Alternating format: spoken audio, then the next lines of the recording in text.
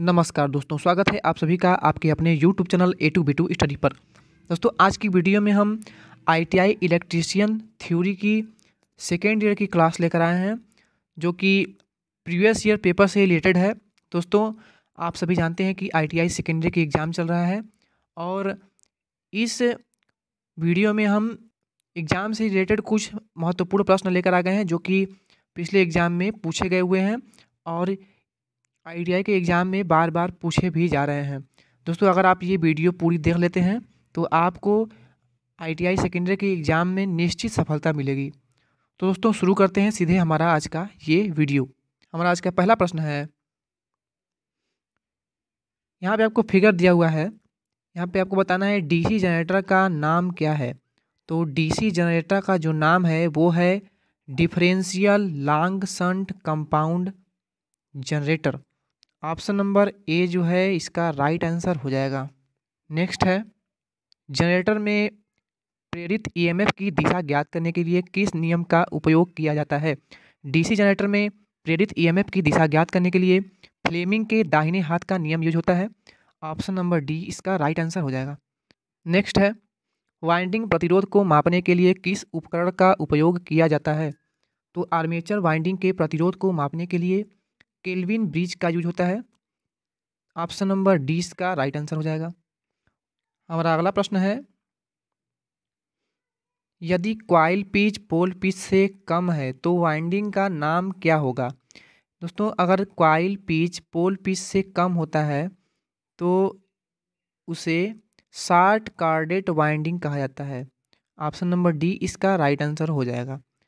अगर यहाँ पर क्वाइल पिच पोल पिच से अधिक है तो वाइंडिंग का नाम क्या होगा? तो वहाँ पर ये लंबी कार्डेट वाइंडिंग हो जाएगा। नेक्स्ट है डीसी मोटर में करंट की दिशा किस नियम से निर्धारित होती है?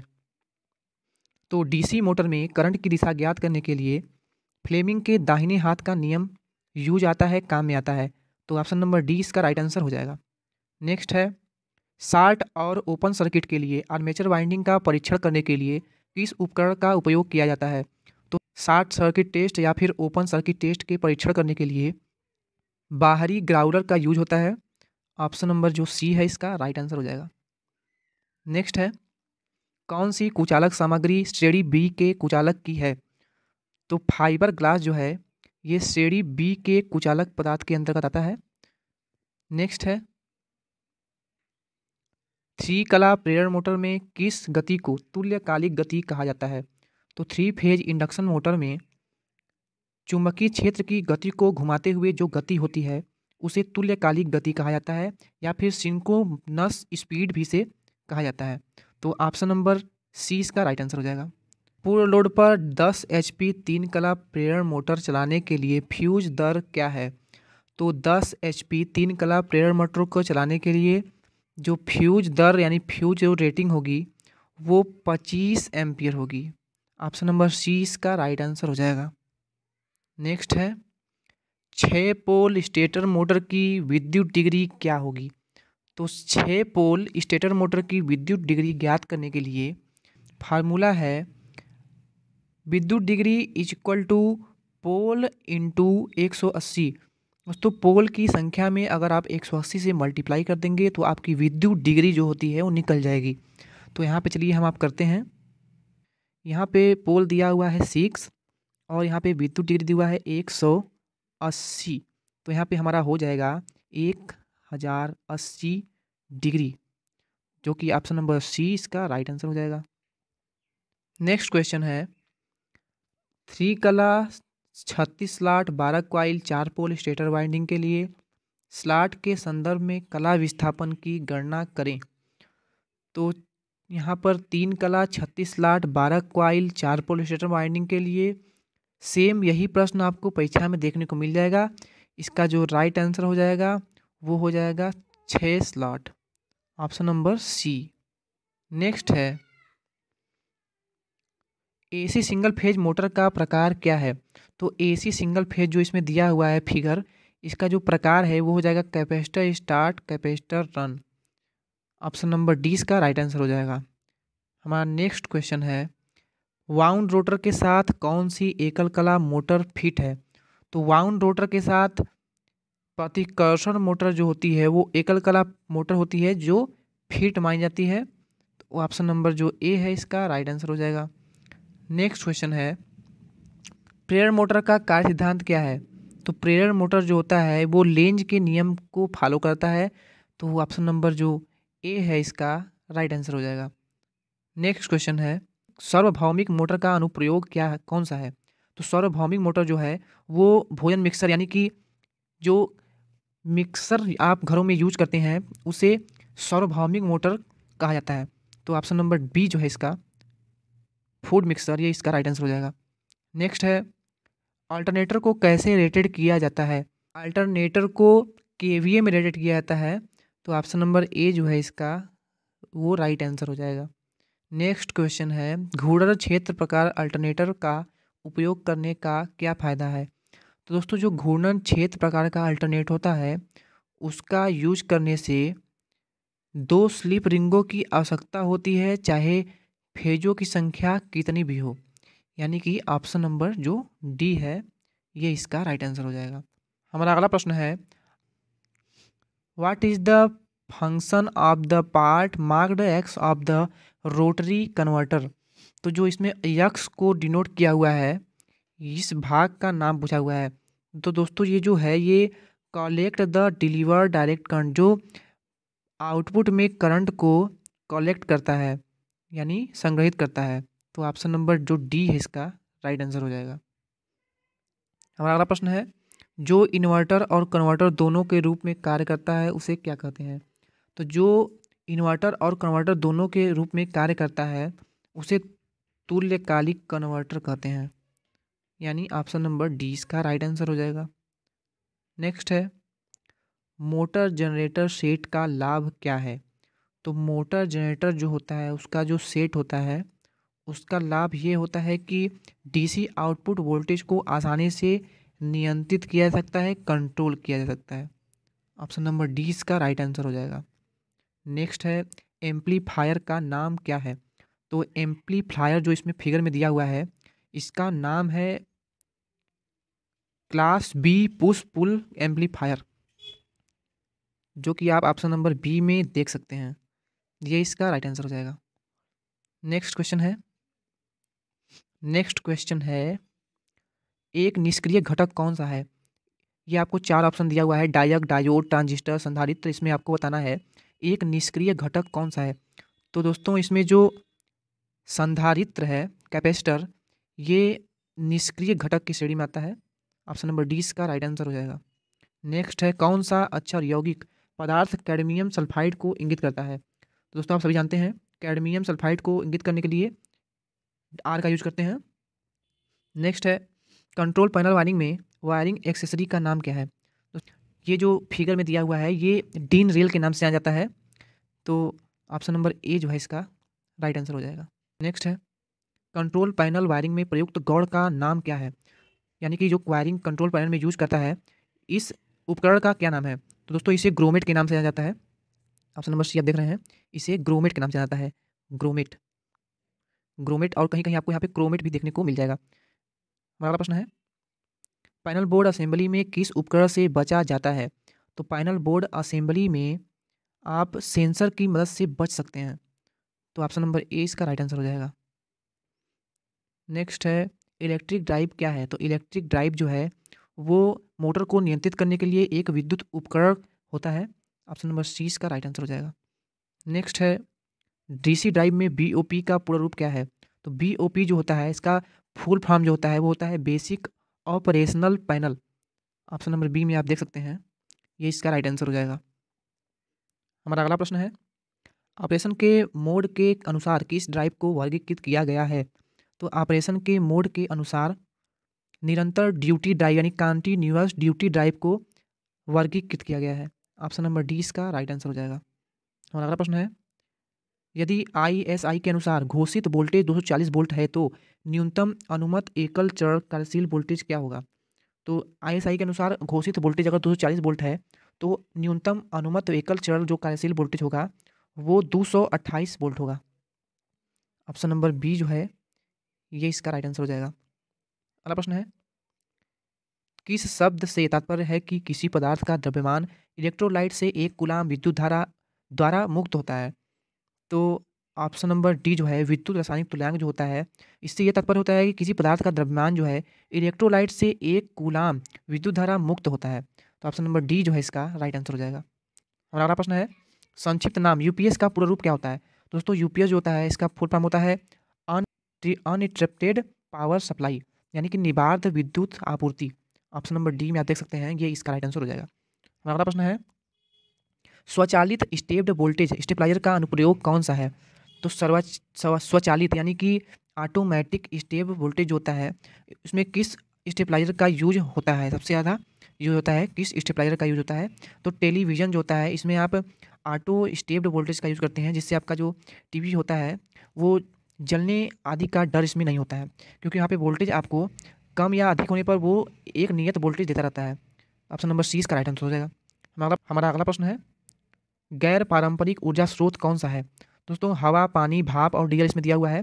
दोस्तों, पानी, भाप और डीजल जो है, ये ऊर्जा का पारंपरिक स्रोत में आ जाएगा। लेकिन अगर बात करें हवा की तो ये जो है, गैर पारंपरिक ऊर्जा का स्रोत है। तो ऑप्शन नंबर ए इसका राइट आंसर हो जाएगा। हमारा अगला प्रश्न है, ऊर्जा का प्राकृतिक स्रोत कौन सा है? तो ऊर्जा का प्राकृतिक स्रोत जो है, वो सूर्य है। ये बहुत ही आसान क्वेश्चन है दोस्तों, आप जानते हैं इसको। हमारा अगला प्रश्न है आईई नियमों के अनुसार मध्यम वोल्टेज घरेलू इंस्टॉलेशन में किन्हीं दो चालकों के बीच अंशुलेशन प्रतिरोध कितना होता है? तो दोस्तों, अगर आईई नियमों के अनुसार माने तो दो चालकों के बीच जो इंसुलेशन प्रतिरोध होता है, वो एक मेगा ओम से अधिक होता है। तो ऑप्शन नंबर बी में आप देख सकते हैं, ये इसका राइट आंसर हो जाएगा। और अगला प्रश्न है लाइन इंसुलेटर का नाम क्या है? यहाँ पे आपको फिगर दिया हुआ है। इसमें आपको बताना है कि ये किस टाइप का इंसुलेटर है? तो ये जो है, ये निलंबन प्रकार का इंसुलेटर है, यानी suspension type insulator option number D इसका राइट आंसर हो जाएगा। नेक्स्ट है वाइंडिंग वायर गैप को बहुत पास रखने और पिन इंसुलेटर में बहुत टाइट होने का क्या कारण है? तो स्पार्किंग से बचने के लिए इसका टाइट रखा जाता है। ऑप्शन नंबर ए इसका राइट आंसर हो जाएगा। और अगला प्रश्न है सर्किट ब्रेकर की टूटने की क्षमता का मूल्यांकन कैसे किया जाता है? तो सर्किट ब्रेकर के टूटने का, यानी अगर एमसीबी आदि की बात करें तो इसकी जो टूटने की रेटिंग होती है, उसको मिली वोल्ट एम्पियर में मापा जाता है तो ऑप्शन नंबर सी जो है एमबीए इसका राइट आंसर हो जाएगा। और अगला प्रश्न है सर्किट ब्रेकर का नाम क्या है? ये जो फिगर दिया हुआ है, दोस्तों ये एयर ब्लास्ट सर्किट ब्रेकर है। ऑप्शन नंबर बी इसका राइट आंसर हो जाएगा। हमारा अगला प्रश्न है, किसी गति परक वस्तु के विरुद्ध घर्षण बल की दिशा क्या होती है? दोस्तों किसी गति परक यानी गति में अगर कोई वस्तु है तो उसकी जो घर्षण होगा, वो दिशा किस दिशा में वो बल लगाएगा? तो दोस्तों वस्तु के हमेशा सामने उसका जो बल लगेगा जब वस्तु गति की दिशा में होगी तो ऑप्शन नंबर बी जो है इसका राइट आंसर हो जाएगा। मेरा अगला प्रश्न है, घर्षण बल पर कौन सा निर्भर करता है? दोस्तों, घर्षण बल जो होता है, घर्षण बल लगने के लिए आपको किसी सरफेस यानी कि सतह की आवश्यकता होगी, तभी आप घर्षण बल को लगा सकते हैं। यानी अगर आप चलते हैं तो आपका जो घर्षण बल होता है, वो पृथ्वी पर लगाता है, जिससे आप आगे बढ़ पाते हैं। तो दोस्तों, घर्षण बल को लगाने के लिए आपको किसी सरफेस यानी संपर्क की आवश्यकता होती है। तो ऑप्शन नंबर बी में आप देख सकते हैं, संपर्क सरफेस, ये इसका राइट आंसर हो जाएगा। मेरा अगला प्रश्न है कौन सा स्नेहन प्रणाली एक अंगूठी तेल के साथ प्रदान की जाती है? के लिए भागों के आसपास लगातार लब तेल छाप है। तो दोस्तों स्पेलेस फ़ीड प्रणाली जो होती है, इसमें अंगूठी तेल के साथ प्रदान की जाती है। स्नेहन प्रणाली कहा जाता है इसे है। तो ऑप्शन नंबर जो सी है इसका राइट आंसर हो जाएगा। अगला प्रश्न है ज़ीरो पॉइंट टू फोर के घर्षण गुणांक के साथ बीस के जी वस्तु को ले जाने के लिए आवश्यक बल क्या है? दोस्तों, यहाँ पर दिया हुआ है ज़ीरो पॉइंट टू फोर के घर्षण के अनुसार तो आप सभी जानते हैं कि घर्षण को हम एम से लिखते हैं तो यहाँ पे आपको एम का मान दे दिया है ज़ीरो पॉइंट टू फोर। वहीं आगे देख लें तो आवश्यक बल का मान आपसे पूछा हुआ है, आवश्यक बल का मान पूछा हुआ है, और यहाँ पे आपको यानी भार यहाँ पे दे दिया हुआ है, और वो है बीस के जी ठीक है तो हम इसे डिलीट कर लेते हैं। दोस्तों, हमारा फार्मूला होता है F is equal to M यानी घर्षण गुणांक इंटू डब्ल्यू यानी कि भार। तो एम का आपका ज़ीरो पॉइंट टू फोर दिया हुआ है। यहाँ पे आपको मल्टाई मल्टीप्लाई करना है बीस से। तो आपका जो आंसर आ जाएगा यहाँ पे आप सॉल्व कर लेंगे इसे तो आपका चौबीस गुना अड़तालीस हो जाएगा।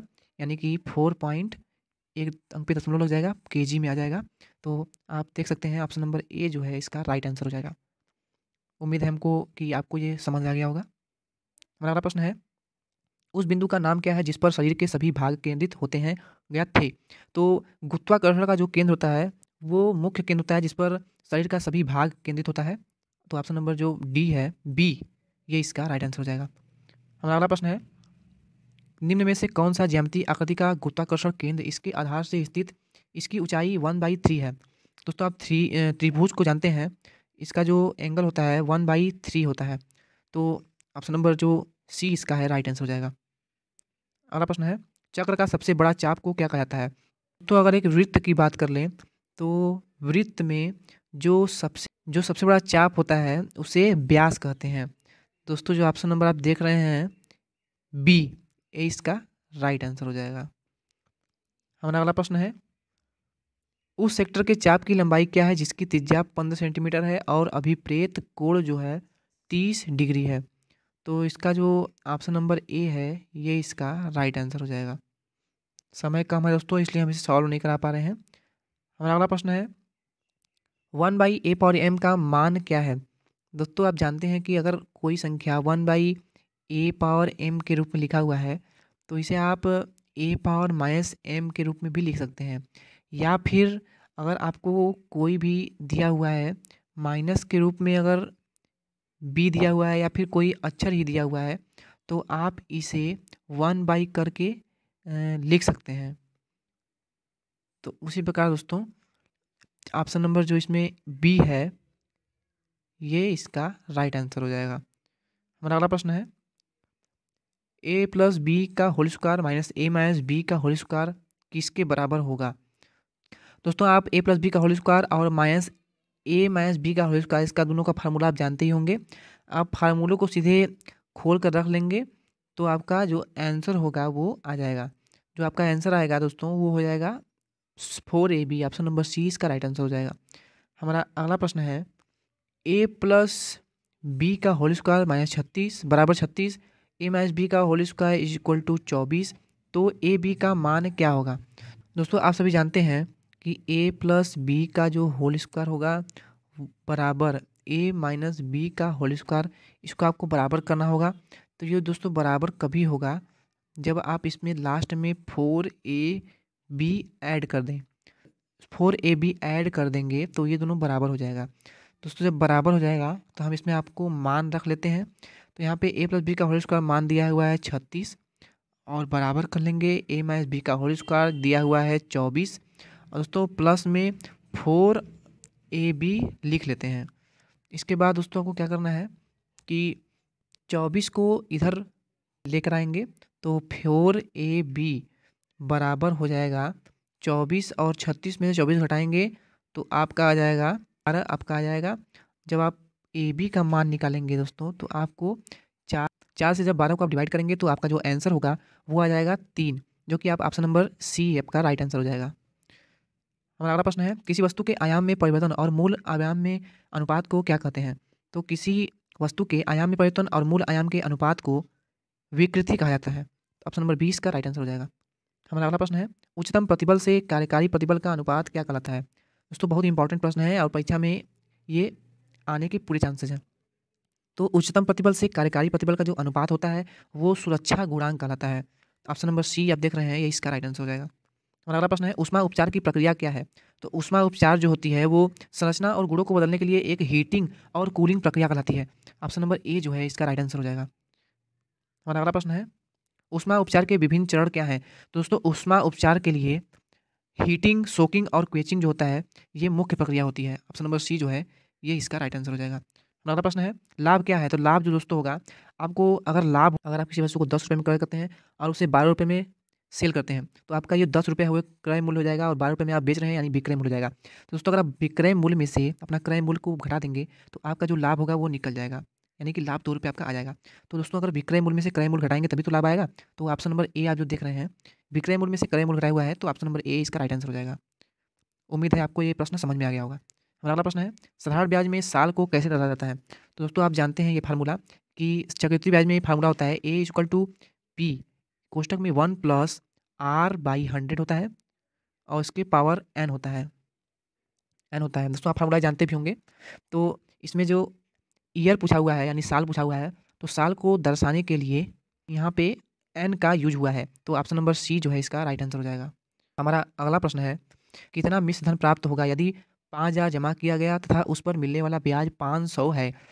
दोस्तों, अगर आप किसी बैंक में या फिर कहीं भी पाँच हज़ार रुपये जमा कर रहे हैं और उस पर जो मिलने वाला ब्याज है वो पाँच सौ है और आप इतना जमा कर रहे हैं। तो मिलने वाला जो मिश्र धन होगा मिश्र धन कितना होगा? तो दोस्तों, अगर आप इतना आपको जमा करने वाली राशि है और इतना आपका ब्याज है तो दोनों को आप यहाँ ऐड कर देंगे तो आपका मिश्र धन प्राप्त हो जाएगा। तो मिश्र धन यानी कि पाँच हज़ार और पाँच सौ, यानी कि पचपन सौ आपका राइट आंसर हो जाएगा। और अगला प्रश्न है, पुस्तिका का नाम क्या है जिसमें विभिन्न दरों का संकेत दिया जाता है? दोस्तों, जो मूल्य सूची होती है, इसमें विभिन्न दरों का संकेत दिया हुआ आता है। तो ऑप्शन नंबर डी इसका राइट आंसर हो जाएगा। हमारा अगला प्रश्न है, अनुमान के तहत क्या है? दोस्तों, जब आप अनुमान लगाते हैं और वास्तविक अनुमान से कम होता है तो उसे जो अनुमान कहा जाता है, अनुमान के तहत होता है। तो ऑप्शन नंबर सी इसका राइट आंसर हो जाएगा। दोस्तों, ये था हमारा आज का आखिरी प्रश्न। तो चैनल पे हमारे नए हो तो चैनल को सब्सक्राइब कर लें। हम आपको ऐसी वीडियो प्रोवाइड कराते रहेंगे जो कि आपको आई सेकेंडरी के एग्ज़ाम में हंड्रेड परसेंट सफलता दिलाएगी। दोस्तों, वीडियो को अपने दोस्तों के साथ शेयर अवश्य कर दें, जिससे आपके साथ उनका भी भला हो सके। तो मिलते हैं नेक्स्ट वीडियो में। तब तक के लिए थैंक यू